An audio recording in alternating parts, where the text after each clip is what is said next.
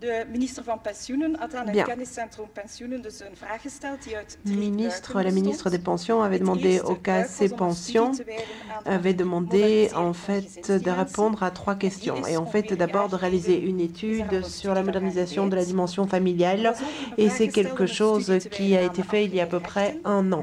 Puis, worden demande, fut faite pour er réaliser une étude sur les droits dérivés présentée toe par le bureau du plan tout à l'heure. et een puis aussi euh, pour un monitoring 2022 tool genre et pension pour le mettre sur en pension stat. Van 2022, het des groupes d'études ont été mis en place. Gender and pension à partir du bureau du plan avec le soutien de la KU Zowel Leuven, le service fédéral des pensions, uitgangspunt was dus om de pensioenkloof te CG10 bepalen et l'INASTI. Le point de départ daarvoor était de définir le fossé entre les hommes et les femmes. Pour ce faire, des données administratives is de l'ensemble de la population furent utilisées. Donc ce n'est pas des échantillons et un lien. Comment est-ce qu'on a fonctionné D'abord, on a dû hebben ons eigenlijk beperkt tot de recent délimiter la, population.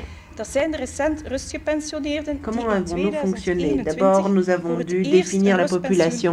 Et puis, on s'est limité aux pré-pensionnés récents. Euh, ce sont ceux qui en meerdere stelsels 21 gewerkt. ont eu pour la première fois droit à leur retraite dans, les, dans tous les systèmes où ils ont en fait développé des droits. Qu'est-ce que cela veut dire? Souvent, les gens ont travaillé dans plusieurs systèmes. Et par exemple, ils ont des, 2021 développé des droits à la pension dans deux systèmes. Et il se peut que euh, 2022. ces pensions ne soient pas prises à la même date. Il se peut que dans le système du fonctionnariat, vous puissiez 2023, prendre votre pension en volledig is. 21, mais en tant que travailleur uniquement en 22. We hebben Alors ça, on les a pas repris euh, dans notre étude de eigenlijk een 21, overlevingspensioen puisque leur pension n'était pas encore complète. Bon, c'est quelque chose qui n'arrive pas non plus euh, tous les jours, je vous rassure.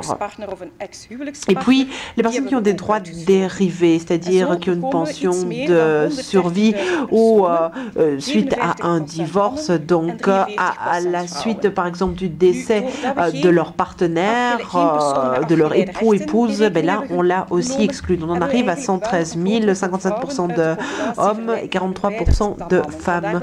Étant donné euh, 57, que nous n'avons pas 43%. pris compte des personnes avec des droits dérivés, nous zou avons ainsi exclu une plus grande vind je 2,5 proportion de femmes que d'hommes, d'où le déséquilibre Nu, waarom hebben 57-43. we voor deze afbakening Alors simplement à titre de comparaison, si on regardait la population totale des retraités, on arriverait à volgen. En dat gaat 2,5 gemakkelijker als millions de personnes qui ont droit à la retraite. Pourquoi est-ce qu'on avait choisi cette délimitation L'idée, c'est d'actualiser régulièrement l'information et de suivre les évolutions. Et c'est quelque chose qui est plus van quand on a un groupe limité avec des évolutions et des tendances finalement euh, En qui euh, peuvent se dégager pour un ensemble. Puis il n'y a pas d'impact sur les droits dérivés et c'est quelque chose qui sera abordé plus tard dans une étude. Et puis, on voulait aussi limiter les infos aux pensionnés, aux retraités récents. Les retraités récents, c'est eux qui nous intéressaient le plus parce van 1 qu'ils nous montrent déjà ce qu'on 2022. euh, pourrait avoir à l'avenir pour les femmes retraitées. Les montants que vous allez bestaat voir, ce sont tous des montants mensuels bruts gepensioneerden waarin de 1er populatie janvier beschreven wordt. Dan komt de 2022. pensioenkloof Donc, euh, l'outil de monitoring, de contrôle, genre et pension se subdivise en quatre rubriques. Les retraités récents, description de la population, puis euh, le fossé, wettelijke et moi-même, nous allons en parler. ook Puis cet après-midi, nous aurons la pension complémentaire et la totalité de la pension. Sur cet outil, vous allez trouver le fossé légal de la pension légale.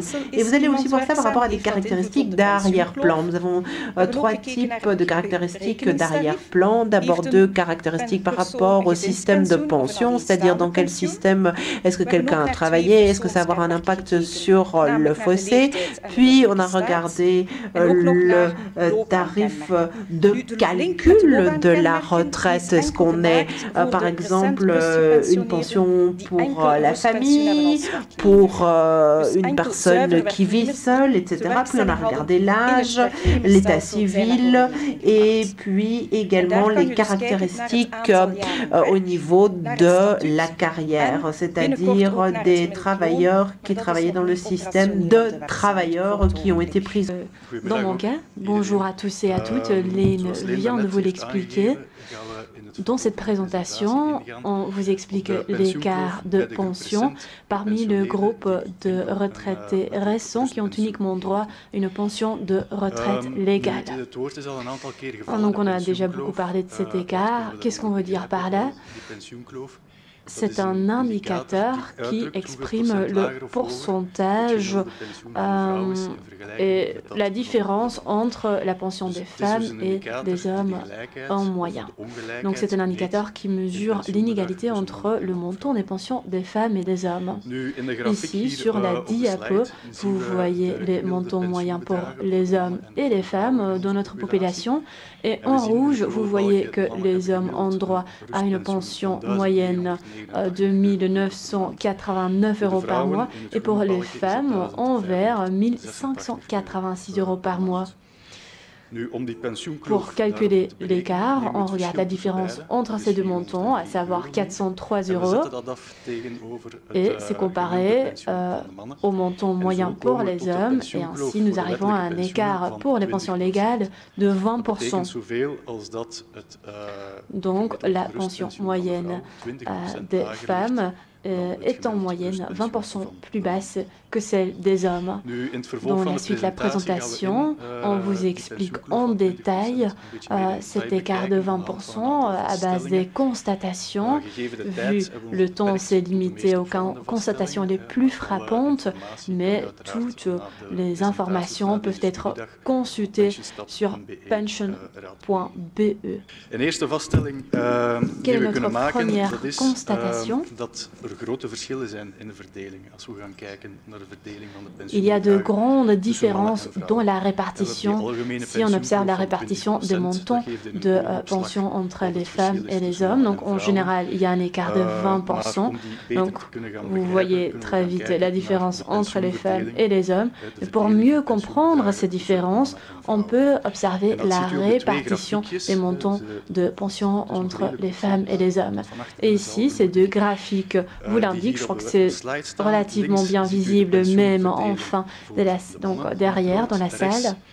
Donc, à gauche, en rouge, c'est pour euh, les hommes et à droite, en vert, c'est pour les femmes. Donc, euh, X montre le montant mensuel par 500 euros. Et si vous voyez cette répartition d'une certaine distance, on remarque que le graphique des femmes euh, est plutôt euh, lourd à gauche. les montants sont plus bas, alors que euh, les hommes sont plus présents du côté droit de la graphique. Donc il y a une répartition plus égale et cela indique déjà que les femmes de notre population oui, sont plus présentes dans les catégories de pension basses. Et si on regarde les deux classes les plus faibles, encadré sur la présentation, on remarque que 22% des femmes ont une pension basse, euh, moins de 1000 euh, euros par mois, alors que chez les hommes, c'est uniquement 8%. Donc plus de femmes ont une pension basse que les hommes il y a un indicateur général, à savoir c'est 20%, mais il y a encore beaucoup plus de différences derrière cet indicateur général. Deuxième constat, le plus grand écart se présente à l'âge de 65 ans, euh, ou quand on est parti à la retraite. À cet âge de notre population, euh, plus de la moitié va à la retraite à 65 ans, environ 52% pour être précis. Euh, donc on va par à la retraite anticipée. Si on observe l'écart, vous le voyez, qu'il est le plus grand pour les personnes qui partent à la retraite à 65 ans. Donc l'écart est de 25% à cet âge et l'écart le plus petit euh, à 62 ans. Là, il n'est que de 7% cet écart. Et quelle est l'explication En fait, c'est très logique. Euh, pour pouvoir partir à la retraite à 62 ans, il faut avoir une carrière suffisamment longue, tant les femmes que les hommes doivent pouvoir prouver une carrière de 43 ans.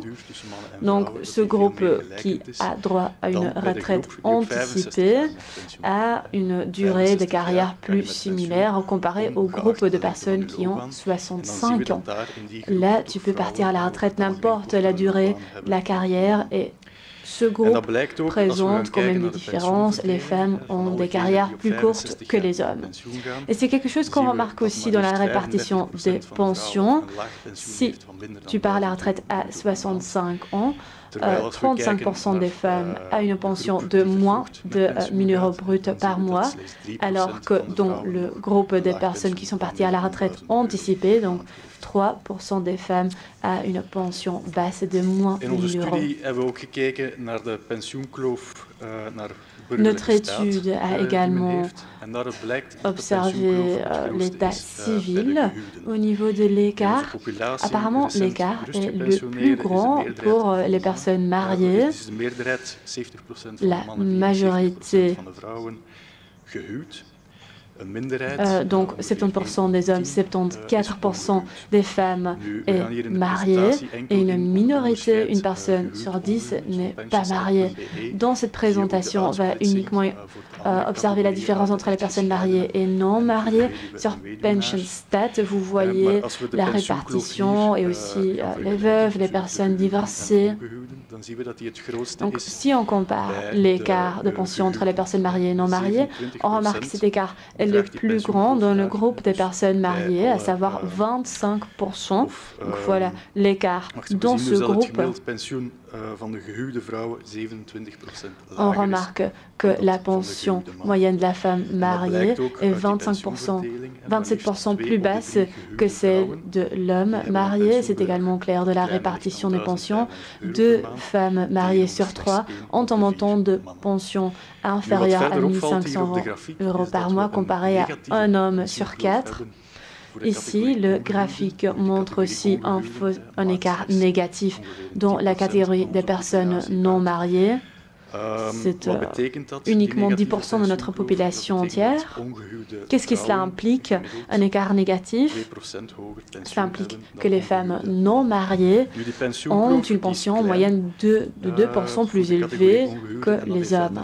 L'écart est petit pour la catégorie des personnes non mariées. Et c'est évidemment lié à la durée de carrière qui est comparable pour les femmes et hommes non mariés. Ensuite, quatrième constat, révélé par l'étude, les corps varient fortement euh, en fonction du régime. Ici, vous voyez l'écart par régime et la combinaison des régimes euh, la plus fréquente parmi les pensionnés. Donc le plus grand groupe, un peu plus de la moitié de la population, a uniquement eu une carrière en tant que salarié, l'écart est de 26%. L'écart le plus petit euh, se présente parmi les fonctionnaires, donc un écart d'uniquement 7%. Quelle est l'explication Les hommes et les femmes fonctionnaires ont une durée de carrière, une rémunération comparable, donc il y a des salaires fixes. Et les indépendants représentent l'écart euh, le plus élevé de 50 il faut aussi nuancer ces chiffres. Le groupe qui a été actif en tant qu'indépendant euh, n'est que 3% de notre population, sont vraiment des chiffres très bas. Et quelle est l'explication pour ce grand écart de pension parmi les indépendants. Cela peut surtout être expliqué par euh, la carrière plus courte. euh, des indépendants. Il y a des conjoints qui travaillent aussi. depuis 2003, il y a un statut qui crée aussi des euh, droits de pension pour ces conjoints qui travaillent et qui aident avec le partenaire indépendant. Donc ce groupe de femmes a en général beaucoup moins accès à la pension minimale, ce qui est quand même important pour euh, beaucoup d'indépendants. Donc voilà, je donne la parole à ma collègue Lynn. Oui, prochaine constatation, euh, la carrière. Je vous l'ai déjà dit au début, il y a les caractéristiques de carrière, mais nous les avons uniquement pour ceux qui étaient uniquement salariés. Qu'est-ce qu'on constate Si on compare un nombre comparable d'années de travail, l'écart est atténué, mais pas éliminé. Quelle était notre approche? Nous avons observé un certain nombre euh, d'années compactées. Qu'est-ce que cela implique? Euh, Une carrière se compose de journées travaillées et assimilées. Nous avons uniquement observé les journées effectivement travaillées, converties en années et compactées. Qu'est-ce qu'on veut dire par compactées? Si une personne a travaillé à temps partiel pendant deux ans, après euh, cette approche de compactisation, cela devient un an euh, de travail à temps plein. Si la population est divisée en catégories euh, en fonction des années compactées, l'écart diminue comparé à l'écart général de 26% pour les salariés. Évidemment, on ne peut pas oublier les euh, nombres dans les catégories. Ainsi, une femme sur cinq a plus de 35 années compactées comparé à un homme sur deux. Donc ici, les trois blocs à la fin montrent beaucoup plus euh, d'hommes dans en rouge que les femmes en vert. Donc les femmes sont, surtout euh, présentes à gauche. Si on se focalise sur les personnes qui ont au moins 35 années compactées, on remarque un écart de pension de 9, 11 et 14% mais aussi dans la répartition, il y a de grandes différences. Ici, nous observons euh, la répartition et on constate que 7% des hommes avec au moins 35 années compactées ont une pension euh, inférieure à 1500 euros. Parmi les femmes, c'est 23 donc une très grande différence. Sixième constat, si on compare un niveau de salaire comparable, on constate encore une fois que l'écart de pension est atténué, mais pas éliminé. Encore une fois, on observe uniquement les personnes avec plus de 35 années de travail compacté. Quelle était notre approche pour diviser ces personnes en catégories salariales? Nous avons observé leur salaire pour le travail effectif et nous l'avons converti en un salaire équivalent temps plein. Donc une personne qui travaille à temps partiel avec un salaire de 2000 euros aura un équivalent temps plein et un salaire de 4000 euros. Et sera ici dans euh, la fourche la plus élevée. Les salaires trouvés sont divisés sur toute la carrière et nous les avons revalorisés euh, basés sur l'indice de prix de consommation pour arriver à un salaire équivalent temps plein.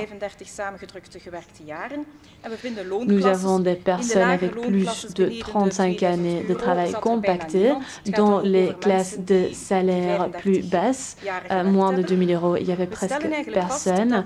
Il s'agit évidemment des personnes qui ont travaillé plus de 35 années compactées. On remarque que l'écart varie entre deux 5 et 8% est en fait plus élevé dans les euh, classes salariales plus élevées.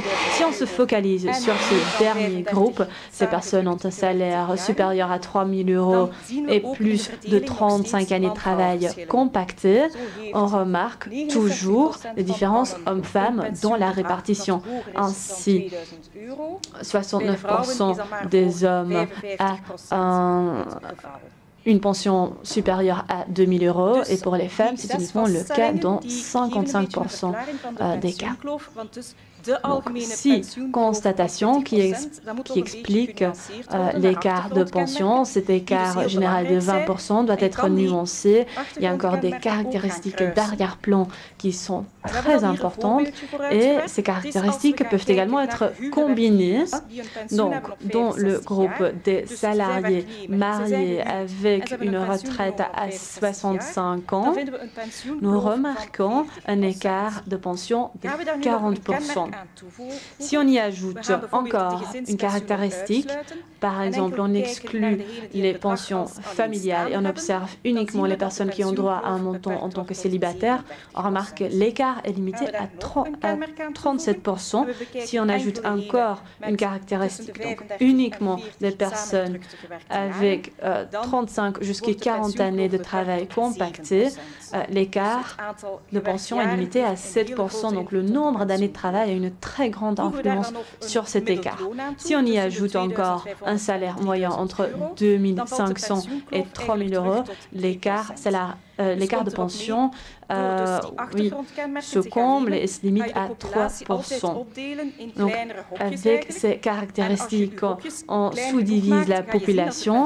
et si cette division est suffisamment petite, on remarque que l'écart est aussi petit.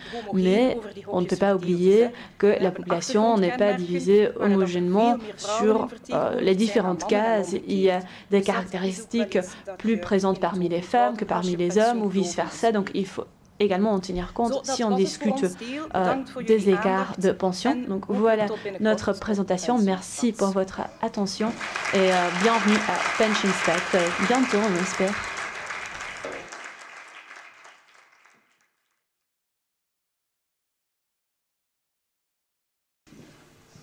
Voilà, euh, je suis devant un écran noir, donc je, je, vais démarrer ma présentation de toute façon euh, d'abord en remerciant les présentateurs qui viennent de me précéder, avec, euh, qui, ont, euh, qui ont donné une, je pense un aperçu assez illustratif de, de l'importance de, de, de l'analyse de, données pour des questions de, formulation de politique euh, sociale, des pensions, mais aussi plus généralement, je pense, euh, de, politique euh, économique ici.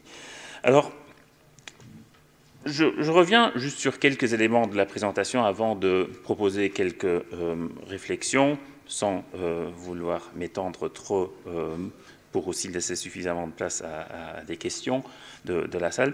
Je pense que le résultat phare vraiment qui, a été présenté, c'est cet écart de, disons, de, pension entre les hommes et les femmes de, 20%.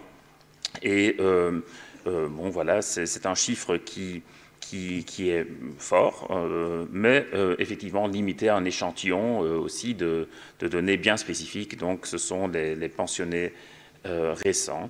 je pense qu'il faut vraiment bien insister sur le fait que voilà les causes des différences de pension euh, telles qu'on les observe. C'est comme souvent dans les analyses lorsqu'on entre dans les données microéconomiques, ben voilà, sont multiples et donc il y a vraiment beaucoup de, facteurs qui peuvent jouer. Et je pense que ici, très clairement, euh, c'est vraiment un élément important. Il y a vraiment une, masse de facteurs qui, jouent et donc euh, ce n'est pas une, une, simple question d'un ajustement ou d'un facteur mécanique qui est d'application. Je pense que lorsqu'on réfléchit à la dimension euh, genre, je pense qu'il faut aussi le, vraiment insister dessus euh, et on, aura l'occasion d'entendre plus sur ce sujet euh, plus tard cet après-midi. Je pense que là, la dimension des droits dérivés, elle est importante.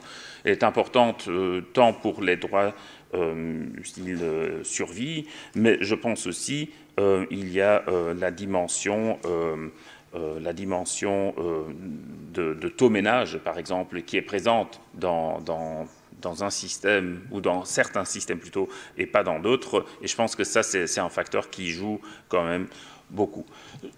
Ce, graphe, euh, je pense que ça valait la peine de, le remettre parce que je pense qu'il introduit plusieurs éléments. D'une part, cette question de, effectivement, de la différence entre les, disons, entre les femmes mariées, les hommes mariés, eh bien, moi, je pense que le rôle du taux ménage, bah, il faudrait vraiment essayer d'être plus, plus clair, sans doute, à, expliciter exactement euh, comment il joue ici euh, en termes de, de, ce résultat qu'on observe, donc les 27%. Quelle est la part, euh, disons, explicative qui revient à, ce taux ménage, quelle est la part qui, vient d'autres choses? Je pense que c'est une dimension qui, mériterait un peu plus de, discussion sans doute. Et puis la question, euh, disons, euh, qui m'est venue bien évidemment à l'esprit quand, j'ai vu le, graphe de gauche, mais, euh, le, graphe de droite, mais surtout les analyses plus fines qui ont été proposées, qui n'ont pas été euh, projetées tout à l'heure à cause des problèmes de, projection, mais qui ont tout de même été euh, faites par, euh, les analystes, eh bien, c'est les questions d'analyse plus fine, avec des caractéristiques croisées, où, en fait, au final, euh, il faut vraiment se poser des questions sur la, taille des échantillons, sur la taille des groupes euh, euh, qu'on analyse. Et parfois, je pense que là, c'est aussi le danger d'utiliser des, données micro dans des, disons, sur des plateformes comme celle-ci. Bah, il faut parfois beaucoup de nuances, beaucoup de précisions pour vraiment avertir les gens de la limitation éventuelle de la portée de ces données. Par exemple, euh, voilà, si on prend des caractéristiques du style marié, euh, euh, non marié, partant à un certain âge départ à la retraite, si on sélectionne un système de pension en particulier, si on exclut des carrières mixtes, etc., ben à la fin, on peut se retrouver avec des cellules assez petites, même si on inclut toute la population des récemment retraités. Je pense que là, on peut venir avec des chiffres qui parfois, bien que statistiquement corrects, ne veulent peut-être au niveau économique plus trop dire grand-chose en termes de vraie distribution entre, les, gens. Donc je pense que là, la, taille euh, des, groupes est vraiment euh, un souci qui me, euh, qui me semble être important. Et je pense que surtout si on commence à, spécifier des paramètres multiples, c'est vraiment un, souci majeur parce que euh, l'avantage des données, c'est qu'on donne effectivement du matériel objectif à, des débats. L'inconvénient, c'est que si les données sont mal interprétées, ça peut euh, être une base un peu empoisonnée pour, euh, pour des débats et donc peut guider les discussions dans le mauvais sens. Alors, au-delà de la présentation, deux réflexions me sont venues euh, vraiment à l'esprit en, voyant cela, et je pense que ça a été évoqué tout à l'heure. La dimension euh, enfant euh, me semble manquer cruellement de ce type d'analyse. Pas enfant, disons, disons, disons dans le ménage au moment de départ à la retraite, mais plutôt enfant, prise en charge d'enfants, euh, impact des enfants sur euh, la durée, l'intensité de la carrière, sur les changements de trajectoire de, carrière. Je pense que là, vraiment, c'est un élément qui me semble vraiment manquer et qui pourrait, à mon sens, être intégré, en tout cas jusqu'à un certain point, dans ce type d'analyse, pour peut-être vraiment, euh, disons, plus orienter la réflexion sur l'avant, pension euh, et pas la pension. Parce qu'au final, on peut se poser la question, tiens, mais est-ce que c'est vraiment un problème de pension ou est-ce que ce n'est pas plutôt un problème tout autre dont les pensions ne sont en quelque sorte qu'une conséquence parmi d'autres?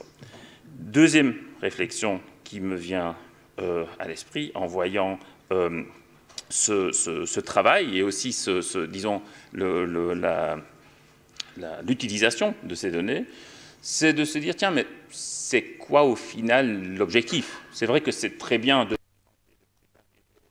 statistiques, d'avoir des, points d'ancrage pour, les discussions, mais il faut aussi se poser la question, bah, quel est vraiment l'objectif qu'on vise avec, euh, disons, une égalisation éventuelle des, des pensions entre hommes et femmes Est-ce que c'est une, une vision plutôt de réduction de pauvreté, qui, à ce moment-là, impliquerait une perspective vraiment de ménage, je, suppose, parce que le, les indicateurs de pauvreté et les situations de vie dans, les familles, bah, c'est plutôt euh, un concept ménage qu'individuel.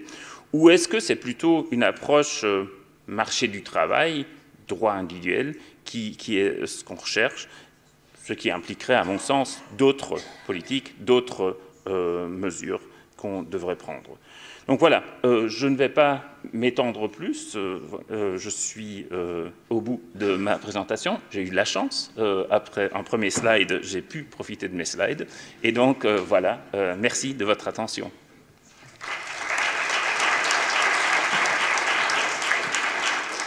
Merci beaucoup.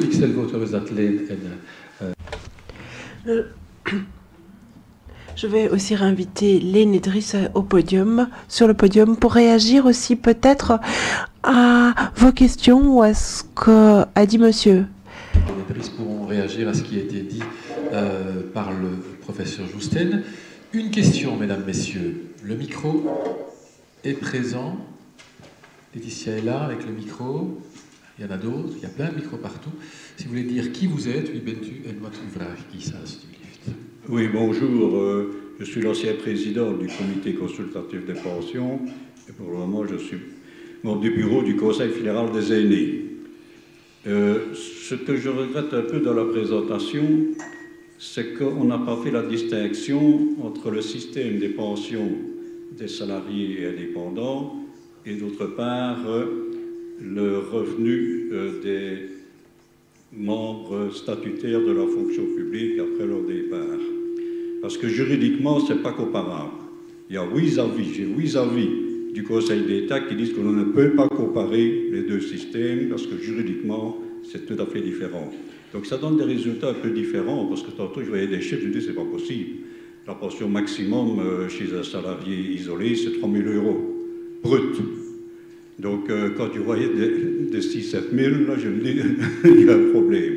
Donc, je crois que ce serait bien peut-être d'affiner la présentation en faisant bien la distinction entre les deux régimes, parce que ça donne des chiffres tout à fait différents.